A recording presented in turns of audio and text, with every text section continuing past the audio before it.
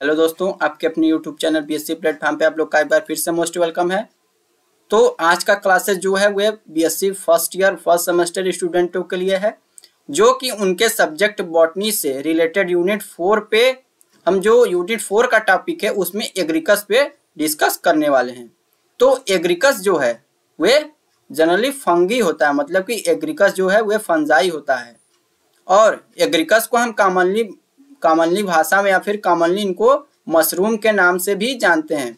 तो मशरूम तो आप लोगों ने बहुत अच्छी तरह से जानते होंगे, क्योंकि मशरूम की ज़्यादातर सब्ज़ियाँ बहुत ही प्रचलित हैं। तो जो एग्रीकस है, ये बॉटनिकल नेम है और इनको कॉमनली नेम में हम मशरूम के नाम से भी जानते हैं। तो आज का मेन टॉपिक या फिर आज की मेन क्लासेस का मेन टॉपिक यही है कि एग्रीकस का पूरे लाइफ साइकिल पे डिस्कस करना। तो एग्रीकस के किसी भी या फिर एलगी हो गया या फिर कोई भी फंगाई हो गया तो उनके लाइफ साइकिल पर डिस्कस करने से पहले, सबसे पहले उनके हम सिस्टमेटिक पोजीशन को जानते हैं कि वह किस क्लास का है, किस फैमिली का है, किस आर्डर का है। तो आइए सबसे पहले हम इनके हम सिस्टमेटिक पोजीशन को देखते हैं। तो सिस्टमेटिक पोजीशन में जो एग्रीकस है वह किंगडम माइकोटा का है division eumycota subdivision basidiomycotina class hymenomycetes order agaricales family agaricaceae तो ये देख लिया हमने सिस्टमेटिक पोजीशन अगर आप, ये जो आज का टॉपिक है, ये एग्ज़ाम ऑफ़ यू से मोस्ट इंपॉर्टेंट टॉपिक है, क्योंकि ये बहुत बार क्वेश्चन में पेपर में पूछने जाने वाला टॉपिक है। तो अगर ये आपके क्वेश्चन पेपर में पूछा गया तो आप सबसे पहले लाइफ साइकिल को रिप्रेजेंट करने से पहले जो भी पूछा गया, मान लीजिए अगर एग्रीकस ही आपके क्वेश्चन में पूछा गया तो सबसे पहले आप उनके सिस्टमेटिक पोजीशन को रिप्रेजेंट करेंगे। क्योंकि सिस्टमेटिक पोजीशन ही उनके जो लाइफ साइकिल में सबसे मोस्ट इंपॉर्टेंट उनका सिस्टमेटिक पोजीशन ही है। क्योंकि सिस्टमेटिक पोजीशन उनके क्लास आर्डर फैमिली हर एक चीज़ को रिप्रेजेंट कर देता है। तो इसलिए अगर क्वेश्चन पेपर में पूछा गया एग्रीकस तो आप सबसे पहले उनके सिस्टमेटिक पोजीशन को ही रिप्रेजेंट करेंगे। तो अब देख लिया हमने सिस्टमेटिक पोजीशन अब हम इनके कुछ बॉडी स्ट्रक्चर को देखेंगे कि इनका बॉडी स्ट्रक्चर कैसा है, इनका बॉडी किन पार्ट में डिवाइड है। तो आइए हम देखते हैं इनके सबसे पहले ऑकरेंस पे कि ये कहाँ कहाँ पर पाए जाते हैं। Occur dead and decaying leaves wood and rainy season ये ज़्यादातर सड़े गले स्थानों पर, लकड़ियों पर या फिर जहाँ पर सड़े गले हों, पदार्थ, वहाँ पर ये ज़्यादातर पाए जाते हैं। और साथ ही साथ ये बरसात के मौसम में भी ज़्यादातर पाए जाते हैं। तो ये देखा हमने अकरेंस और एक बात और कि इंडिया में इनकी जो सत्रह स्पीसीज प्रेजेंट हैं, और उन सत्रह स्पीसीज में जैसे कि कुकुर मुत्ता कुंभ, ये हो गए। कुकुर मुत्ता तो आप लोगों ने बहुत ज़्यादा देखा होगा, क्योंकि ये बरसात के सीजनों में बहुत ज़्यादा ग्रो करता है। तो बरसात के सीज़न में जो कुकुर मुत्ता है वह बहुत आसानी से ही दिख जाता है। तो ये जो कुकुरमत्ता है, ये भी एग्रीकस का ही स्पीसीज है और इंडिया में केवल सत्रह स्पीसीज ही इसके प्रेजेंट हैं। और यहाँ पर हमने एक फिगर भी मेंशन किया है एग्रीकस का।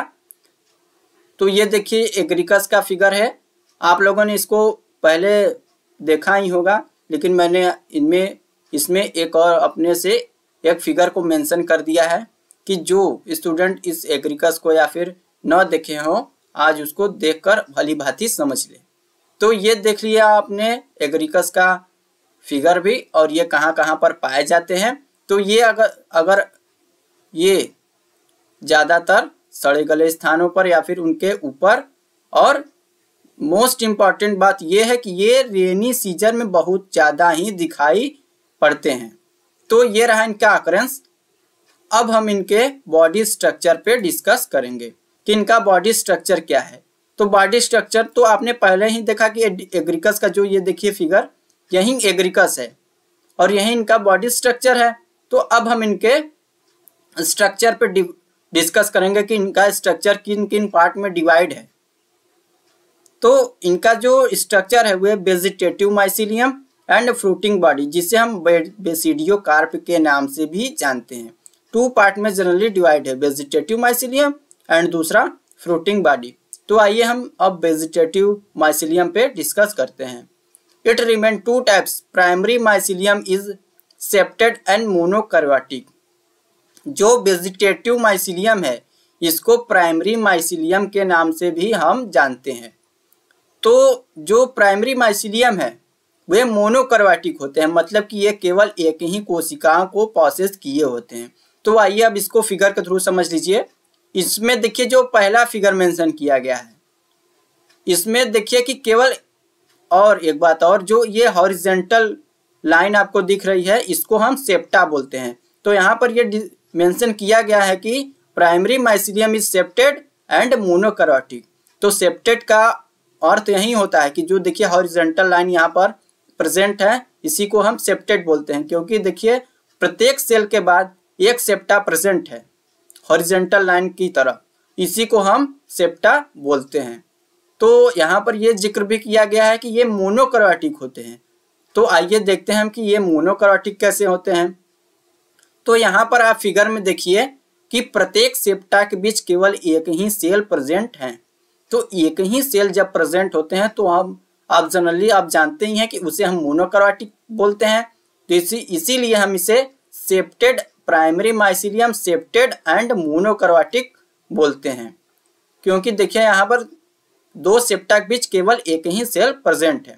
जब यहीं दो सेप्टा के बीच दो प्रेजेंट दो सेल प्रेजेंट हो जाएँगे तो उसे हम डाइकोरोटिक माइसिलियम या फिर डाइकोरोटिक हाइपा के नाम से जानते हैं, जो कि इस फिगर में देखिए, पहले ही फिगर में जो दूसरा वाला फिगर है, इसमें देखिए प्रत्येक जो दो सेप्टा है, उसके बीच टू सेल प्रेजेंट है। इसीलिए इसे हम डाइकोरोटिक हाइपा या फिर डाइकोरोटिक माइसिलियम के नाम से जानते हैं।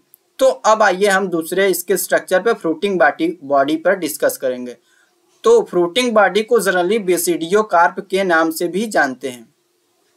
The aerial part of the agaricus developed from rhizomorph this part commonly known as mushroom it differentiate into stipe and pileus तो अब देखिए आप दूसरे फिगर में ये जो पूरा फिगर है, इसी को ही हम फ्रूटिंग बॉडी के नाम से जानते हैं, या फिर बेसिडियो कार तो जो ये फ्रूटिंग बॉडी है वह जनरली टू पार्ट्स में डिवाइड होता है। जो टिप पर प्रेजेंट होता है, उसे हम पाइलस बोलते हैं, और जो टिप से नीचे मतलब कि नीचे की तरफ़ प्रेजेंट होता है, ये वाले फिगर इसको हम स्टिप बोलते हैं, और ये जो टिप वाला और स्टिप के बीच में ये जो प्रेजेंट है, जिससे ये अटैच्ड है पाइलस उसे हम वेलम के नाम से जानते हैं। तो ये यही फिगर इसका फ्रूटिंग बॉडी फिगर कहलाएगा। तो हमने इसके स्ट्रक्चर पे भी बात कर लिया। तो अब हम आएँगे एक मोस्ट इंपॉर्टेंट टॉपिक पे। तो ये टॉपिक भी इसी से रिलेटेड है कि formation of dikaryotic hypha by clamp connection कि क्लैम्प कनेक्शन द्वारा डाइकोरेटिक हाइपा का कैसे फॉर्मेशन होता है। ये बहुत ही मोस्ट इंपॉर्टेंट है एग्ज़ाम ऑफ़ यू से, क्योंकि ये शॉर्ट क्वेश्चन में बहुत बार पूछे जाने वाला क्वेश्चन है कि एक्सप्लेन कीजिए कि formation of dikaryotic hypha by clamp connection ये शॉर्ट क्वेश्चन में बहुत बार पूछे जाने वाला क्वेश्चन है। तो आइए देखते हैं कि क्लैम्प कनेक्शन द्वारा डाइकोरेटिक हाइपा का फॉर्मेशन कैसे होता है। हमने आपको पहले ही बता दिया है कि डाइकोरेटिक हाइपा क्या होता है। जब दो सेप्टा के बीच दो सेल प्रेजेंट होते हैं तो उसे डाइकोरेटिक हाइपा हम बोलते हैं। तो आइए देखते हैं कि क्लैम्प कनेक्शन द्वारा डाइकोरेटिक हाइपा का फॉर्मेशन कैसे होता है। तो सबसे पहले इसमें मोनोक्रोटिक हाइपा प्रेजेंट होते हैं। मोनोक्रोटिक हाइपा का मतलब कि जब दो सेप्टा के बीच केवल एक ही सेल प्रेजेंट हो तो उसे मोनोकोरोटिक हाइपा बोलेंगे या फिर मोनोकोरोटिक माइसिलियम बोलेंगे। तो ये जो डाइकोरेटिक माइसिलियम या फिर हाइपा का फॉर्मेशन है, ये मोनोकोरोटिक हाइपा से ही होता है। तो इसमें सबसे पहले इस ए वाले फिगर को देखिए।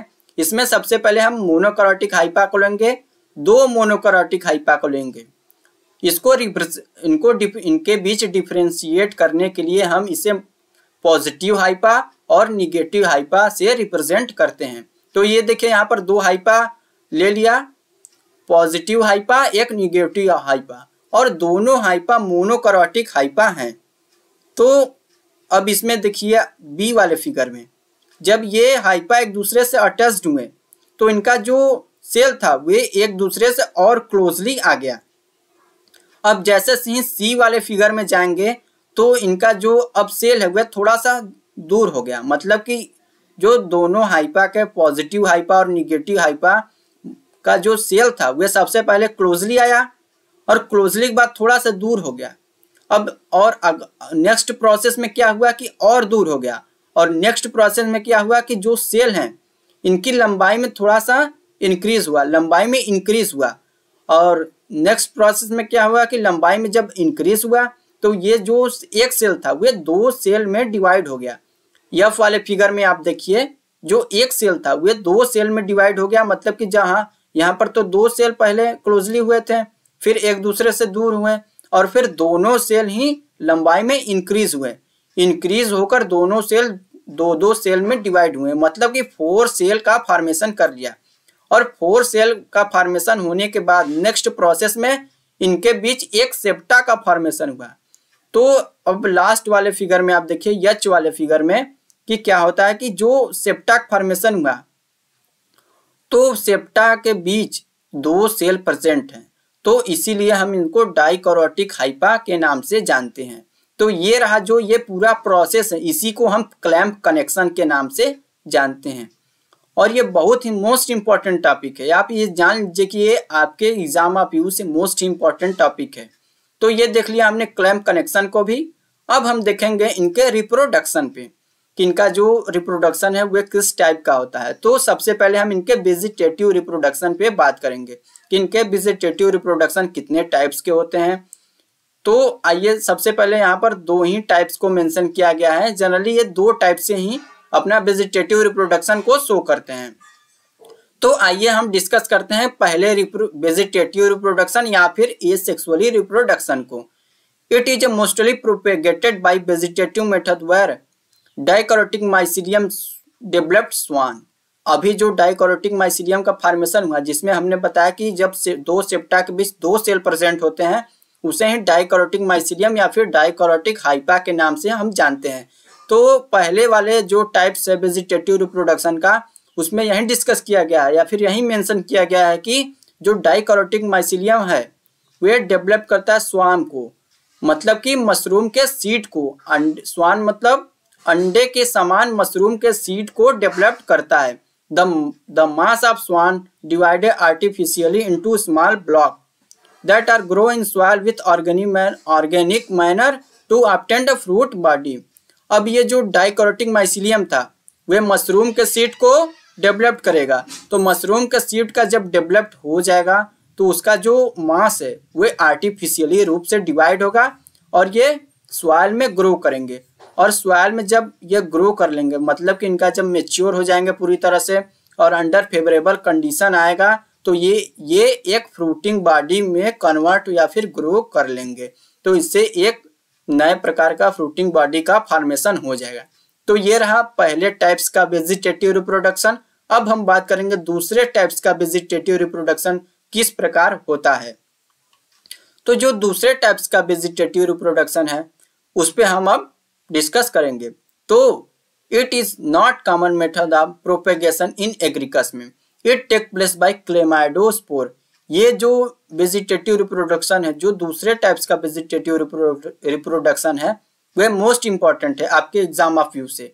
क्योंकि ये पूछता है कि बताइए कि क्वेश्चन में आपको ऐसे ही पूछेगा कि बताइए कि जो एग्रीकस फंगी है, उसमें क्लेमाइडोस्पोर द्वारा वेजिटेटिव रिप्रोडक्शन को बताइए कि कैसे होता है।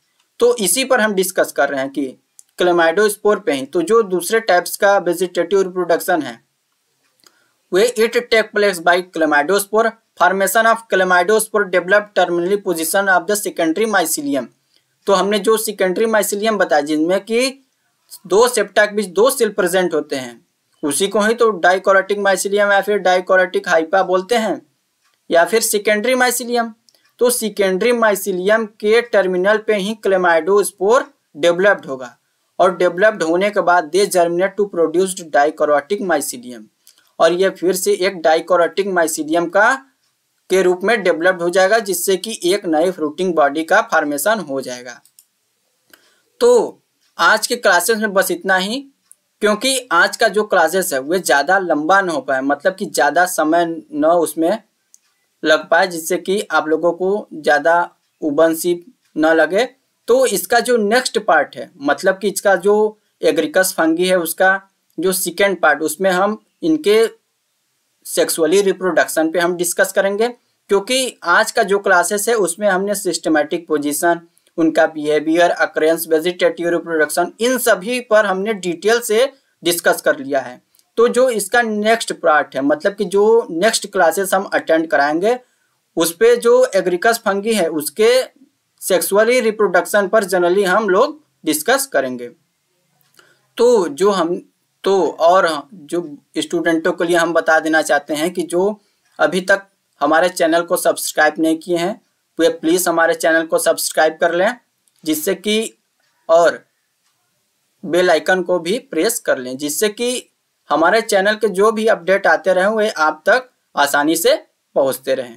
तो यहाँ पर और मैं एक बात और बताना चाहता हूँ कि यू, जो फ़र्स्ट सेमेस्टर स्टूडेंटों के लिए सब्जेक्ट यूनिट थर्ड थर्ड था, उसमें मैंने कई टॉपिक्स पर डिटेल में क्लास को अटेंड कराए हैं। अगर आप उस क्लास को अटेंड नहीं किए हैं तो आप चैनल के प्लेलिस्ट पर जाकर उस क्लास को आसानी से अटेंड कर सकते हैं। तो आज की क्लासेस में बस इतना ही। मिलते हैं नेक्स्ट टॉपिक में नेक्स्ट वीडियो के साथ। उस, और उस टॉप उस जो लेक्चर है नेक्स्ट उसमें हम एग्रीकस के सेक्सुअली रिप्रोडक्शन पर ही डिस्कस करेंगे।